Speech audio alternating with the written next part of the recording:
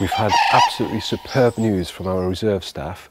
Cranes are flying around the reserve using, using the wetlands that, that we have um, as a, a, a place to feed and to roost, but also, most excitingly, as a place to nest. The, the Great Crane Project has been releasing cranes for three years and the birds are now old enough to breed.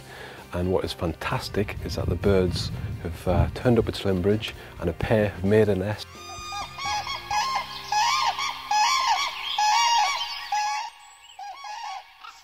We can now reveal that we have at least one egg in that nest and surveillance cameras also enable us to make sure that nothing um, that is a predator or dangerous to the crane gets near near the nest and I'm talking particularly about egg collectors. Believe it or not, there's still people in this country who would collect those eggs.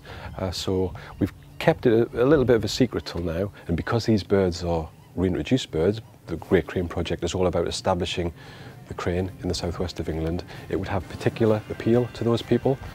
It's over 400 years since cranes nested in the southwest of England and we're doing everything that we can to ensure that this breeding attempt succeeds. We've got staff patrolling the site 24 7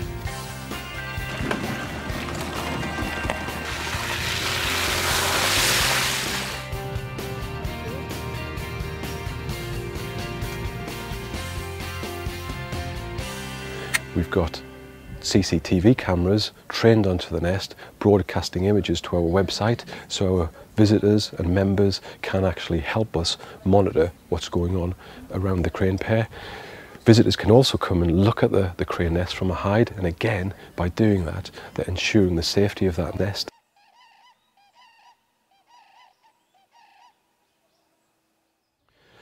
For the team of aviculturalists that have known these cranes since they were eggs. It is a very exciting and a, a very rewarding time.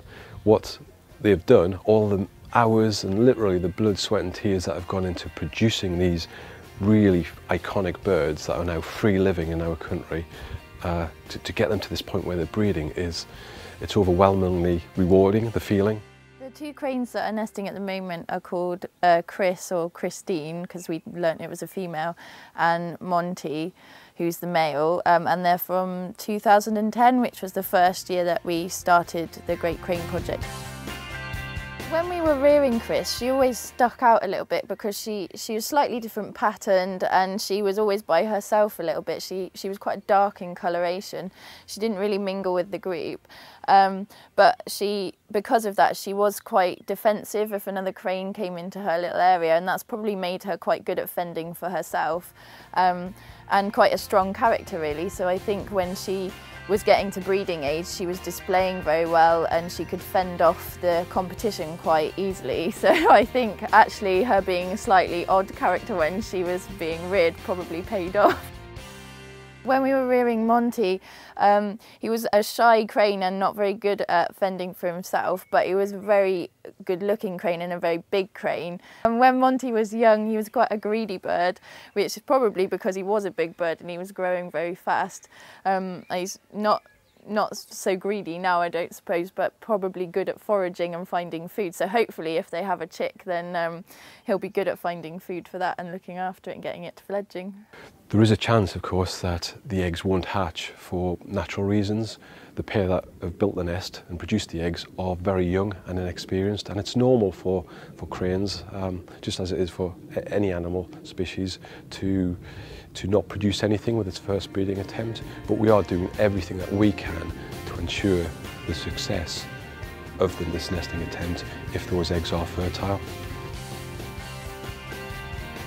Now that the cranes that we've reintroduced in the southwest of England are breeding, we hope that in the not too distant future, cranes will be using wetlands all over the country as they once did.